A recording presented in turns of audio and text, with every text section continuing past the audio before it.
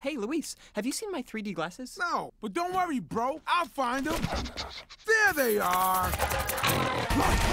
Please put your 3D glasses on, everybody. Ooh, on your face. Obviously, put them on your face.